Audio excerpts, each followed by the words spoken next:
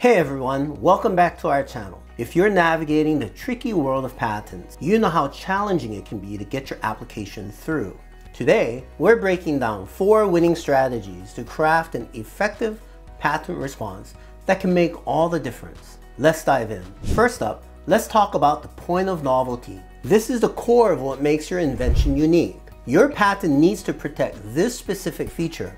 If your response doesn't highlight this point, even if you win the arguments, your patent might not be valuable. Point to these benefits in the application when you respond to the office action. Then, the examiner won't think that you're making up arguments after the fact. You had it all along. Next, align your arguments with the claim language. Your arguments should directly address the claims of your patent. Otherwise, the examiner will ignore your argument.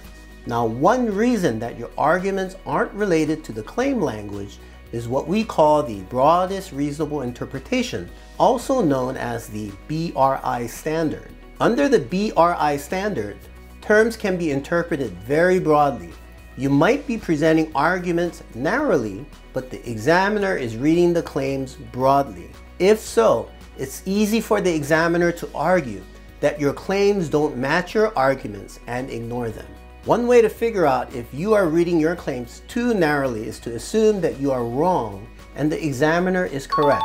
Ask yourself, how can I change my understanding to come up with the same conclusion as the examiner? By doing this, you can understand how the examiner is reading your claims under the BRI standard and make the appropriate adjustments. Now, if you need help, feel free to give me a call. Strategy number three, Keep a positive relationship with the examiner. Effective communication can really impact your application's success. The examiner holds a lot of power. They hold the keys to whether you get a patent or not. If issues arise with the examiner, there's always ways to get their supervisor involved. You can request an after final interview instead of trying to complain your way through the issues. Lastly, don't underestimate the power of an examiner's interview.